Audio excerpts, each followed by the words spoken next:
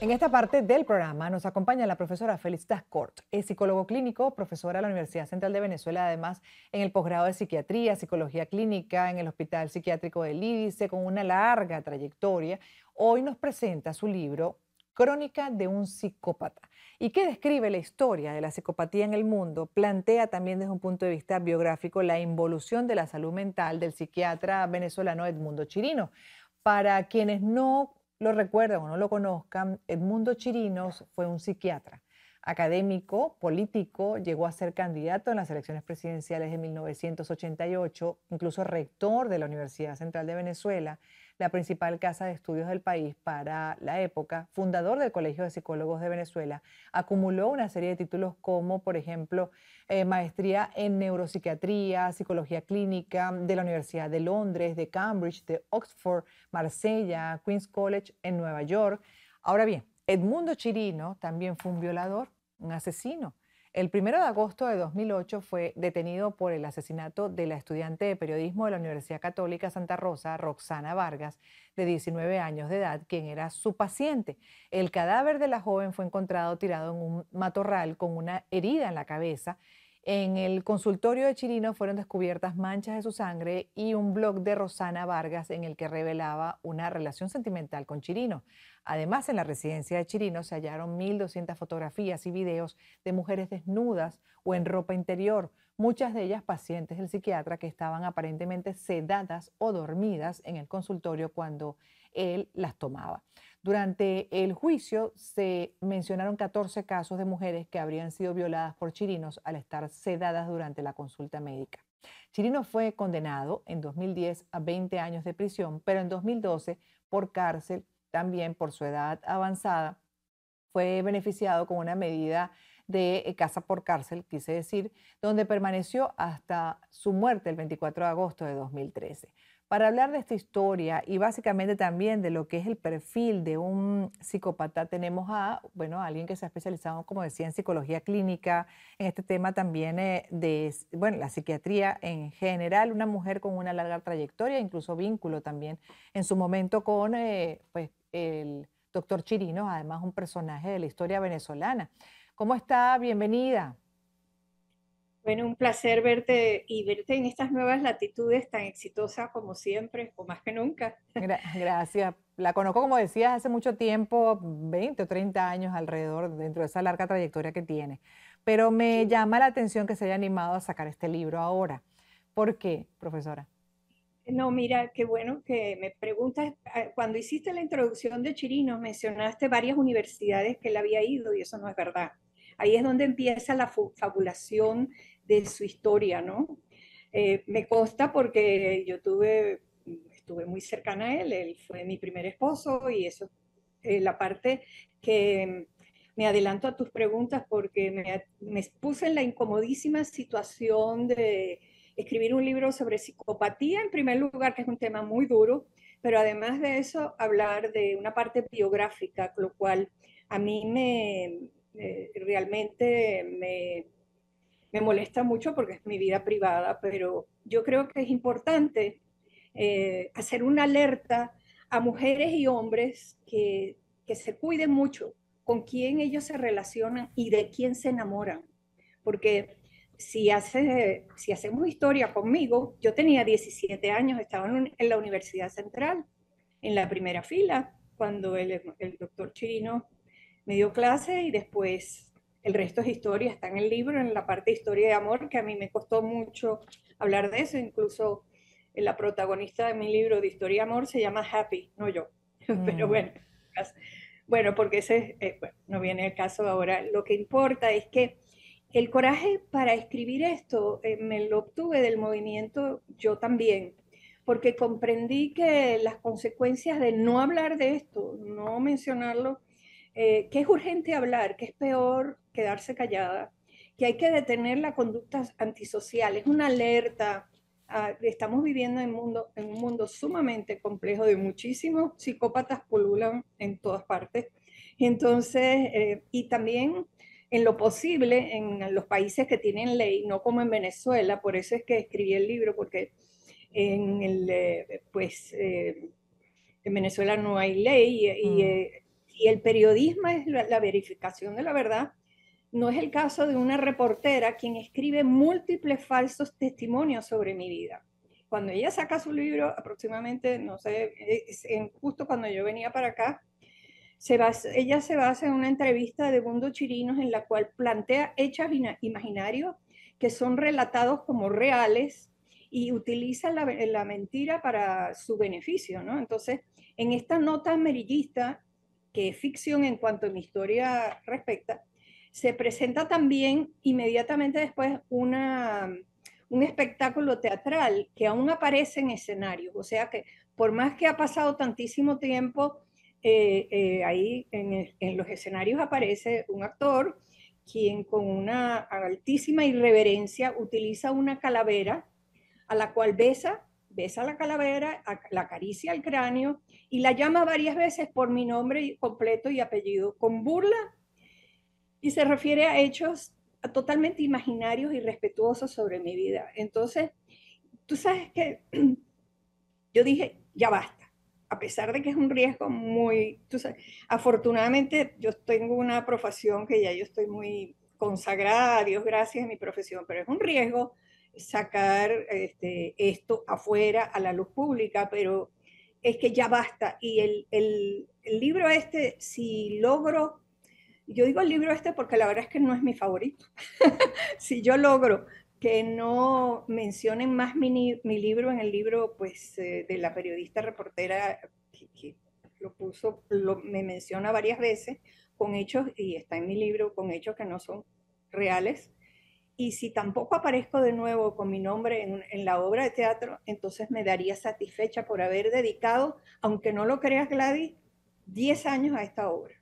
Mm. Porque entre una cosa y otra, tú sabes, inmigración, eh, eh, COVID, pandemia de nosotros, pandemia de la editorial que me, tú sabes, me insistía, me dice, felicitas, dale, vamos a sacar ese libro.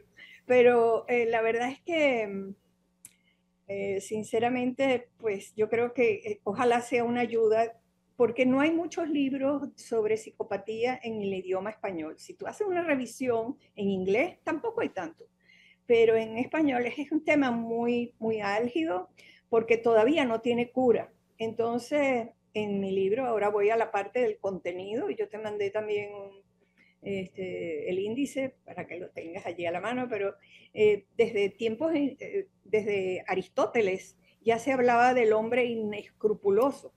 Y después, después vino un psiquiatra francés que hablaba de la frialdad, Pinel, que hablaba de la frialdad y, emocional que existe, la total frialdad emocional de ciertas personas. Y otro, un psiquiatra alemán, él sí acuña el término psicopátische. Y psicopátische eh, en alemán, pues almas en pena. Entonces, lo que sí, em, posteriormente ya en psiquiatría científica, uno de los clásicos psiquiatras se llama Kreplin, y Kreplin es el fundador de la psicopatía. Ahí comienza a hablar de psicopatía como personalidad antisocial. Así que el término psicopatía es porque es más asequible a los medios, pero la verdad es que es la personalidad antisocial. Y también psicópata, eh, sociópata, perdón. Entonces, mm, para agregarte uno más, y ya puedo, para, puedes hacerme la pregunta, pero hay un psiquiatra canadiense que se llama Robert Hare, que él sí ha estudiado a fondo la psicopatía con cuestionarios y bueno, ahí lo menciono bastante en mi libro. En el libro, que, que bueno, del cual vamos a seguir hablando en unos minutos. Además, también eh, me gustaría que nos explicara un poco a qué conclusiones llega usted sobre la base de su propia experiencia durante esa, esa relación que tuvo, que, bueno, que además en el libro eh, comenta con detenimiento de, de, haber estado incluso como pareja, pues eh, casada con un personaje como Chirino. ¿A qué conclusiones llega de la mano además como profesional de la psicología clínica y de la psiquiatría? En unos minutos, por favor.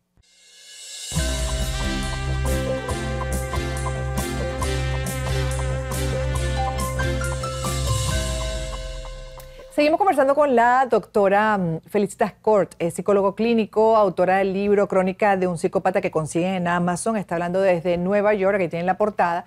Y justamente además de hablar sobre lo que es la patología de un psicópata, también pues comparte lo que ha sido su propia experiencia. Es una narración biográfica, además dentro de lo que fue la experiencia, por ejemplo, a temprana edad, adolescente aún, estaba dejando la adolescencia para pasar a la adultez y ya estaba comprometida con el doctor Chirino, vivir esa experiencia como pareja, como esposa, cómo fue. Y con entonces digo, cuenta usted, además dentro de los conocimientos que iba adquiriendo como psicólogo clínico, que él no estaba bien, doctora. ¿Cómo lo expresa y lo comparte en el libro? Sí, bueno, este, en esa época yo no era psicólogo clínico, ni mucho menos. Uno de los grandes problemas es que Edmundo Chirinos no quería que yo estudiara psicología. Eh, me conoció en la escuela de psicología y después me lo prohibió. O sea, ahí comienza eh, su, dificultad, su no, eh, el, pero más otras cosas. Yo me aventuro en el libro, tengo el capítulo, como dije, la historia de amor, lo hablé antes, pero el capítulo se llama Análisis conductual y cognitivo, porque a lo largo de, eh, de nuestra relación, él me escribió 18 cartas, cada carta más o menos tenía como 13, 15 páginas, algo así. Entonces yo tengo testimonio y me atreví a poner eh, extractos de las cartas, porque desde el punto de vista científico yo no quiero decir algo que no está basado en, ¿sabes?, en algo real, eh, que fue la manera como él me fue llevando en, el, en la relación. El, la decisión de divorciarme de él la, fue intuitiva, estaba muy joven y lo que sentía es que algo muy mal andaba allí en un cerebro que, está, que después, yo me enteré mucho tiempo después, ya yo tengo, bueno, mi hogar, mis hijos, mis nietos, toda mi familia que no tiene nada que ver con él.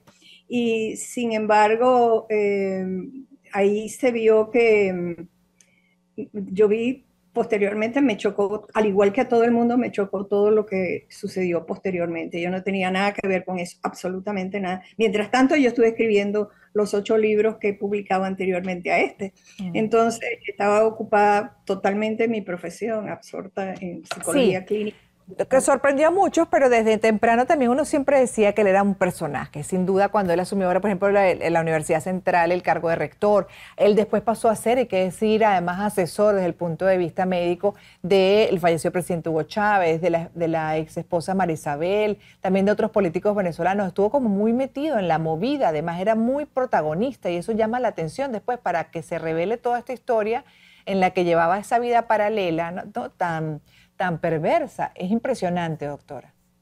Sí, pero te puedo decir que el cerebro involucionó después. En la época que yo lo conocí eran como atisbos, pero nada de eso que ocurrió después eh, era indicador de lo que ocurría en la relación. Lo que sí fue muy severo fue una celotipia, pero patológica que tuvo conmigo y ahí es donde yo pues dije, yo no sigo con eso. Intuí que algo muy mal andaba en la, en la psique del mundo chirino, ¿no? Claro, pero bueno, busquen el libro en Amazon.